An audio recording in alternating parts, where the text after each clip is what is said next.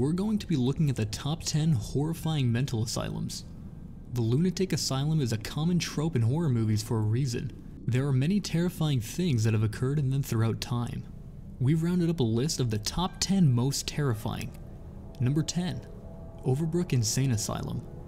This New Jersey asylum was shut down in the mid 1970s, but not before traumatizing and torturing many of its patients. Overbrook's minimal staff couldn't handle the amount of patients it had. Those of them that were interested in looking after people during the early 20th century, conditions were so awful. Several people died from the cold exposure in their beds, while others went missing and were never found.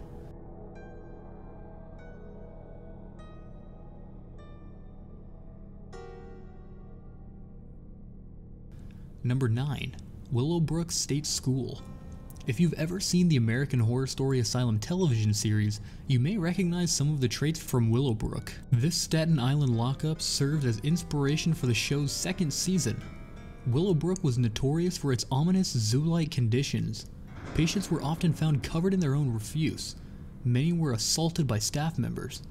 Willowbrook is rumored to have even been the one-time home of serial killer Cropsey, the infamous child killer. A Peabody Award winning investigation revealed a lot of the more appalling details, but you'll be shocked to hear that this place remains open to this day, although its conditions have vastly improved.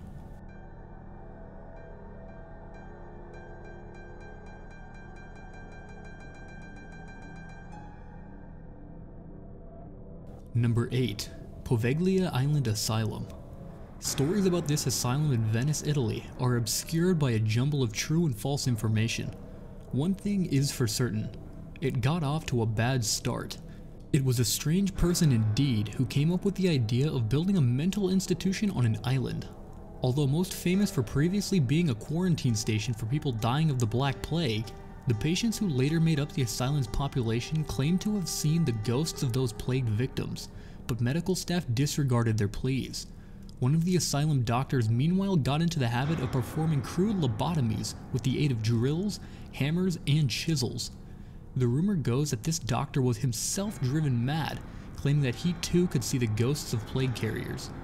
He lost his life by plunging himself from the hospital's bell tower and dying on the ground below.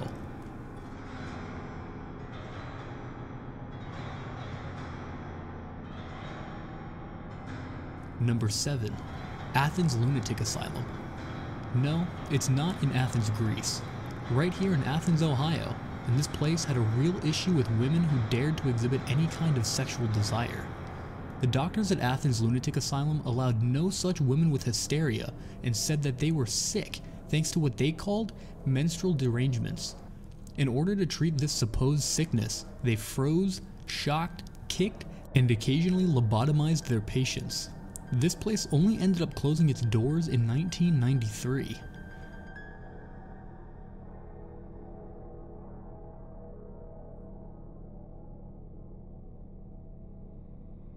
Number 6.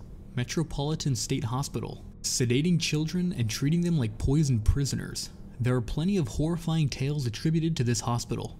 Perhaps the most infamous one demonstrates that there was an utter disregard for patient security and well-being. It is reported once a patient went for a walk around the hospital's prison like grounds in 1978.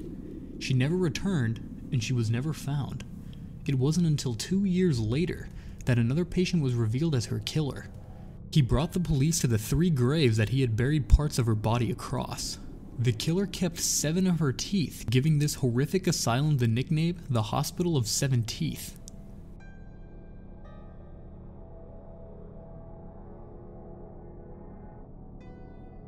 Number 5. Trenton State Hospital. This asylum has become synonymous over the years with the infamous Kirkbride Plan, a mental hospital design scheme laid out in the 19th century by Philadelphian psychiatrist.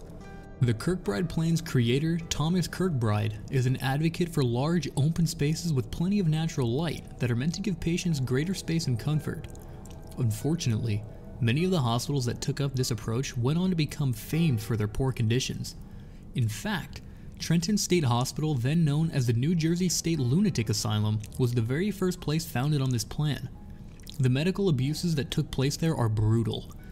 At various points, patients' teeth, gallbladders, stomachs, testicles, uteruses, and ovaries were removed by one doctor. Richard Cotton, the doctor, frequently treated patients without their consent because he thought that psychological diseases and mental disorders were related. Often, the result of his experiments was death.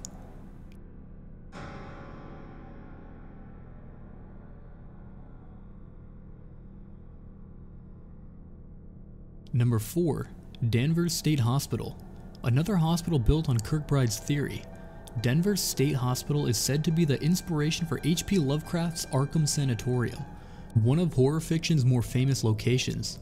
Sadly, the horrific incidents that occurred in Danvers were real and happened there. By 1939, the facility was scheduled to house 600 patients, but there were approximately 2,500 patients, with no personnel added. This meant that many patients died days before their bodies were discovered. Danvers also became the backdrop to the world's first transorbital lobotomy, in which an ice pick is inserted through the eye socket and into the brain.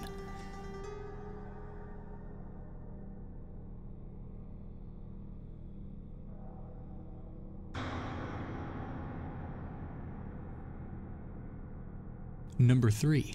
Pennhurst in Pennhurst, if a child bit another child again after receiving a warning, his teeth would be pulled. This asylum's reputation for child cruelty was built on the findings of investigative reporter Bill Baldini. He shined a light on the facility's widespread physical, mental, and sexual abuses.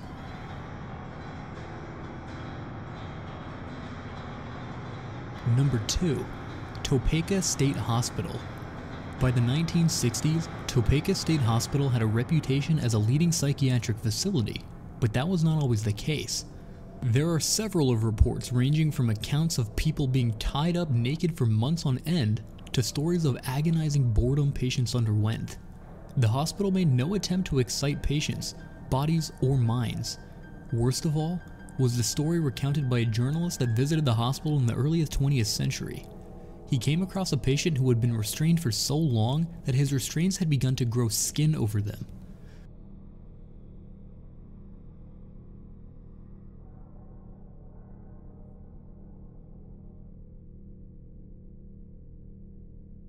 Number 1. Bethlehem Royal Hospital.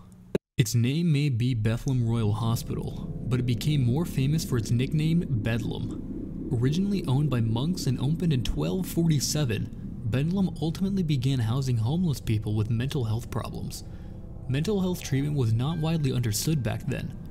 Daily punishments, scripture lessons, and chaining people to walls seemed humane enough. There were some individuals who had been imprisoned for 20 years or longer by the time the British government assumed power in the middle of the 19th century. Things didn't improve. Patients were starved, the premises were dirty, and the staff lacked training.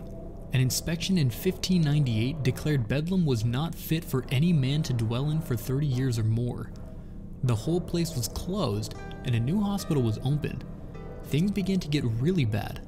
Patients were treated like prisoners in a sideshow or zoo. Bedlam was open to the public and wealthy people gave patients pennies so they might perform songs and dances. Future management promoted torture, cold baths, and beatings. Bedlam remains open, 750 years after the institution's doors first opened, despite a 19th century parliament inquiry, two additional moves, and numerous location modifications. It is much improved, but with a controversial history that won't and shouldn't disappear anytime soon.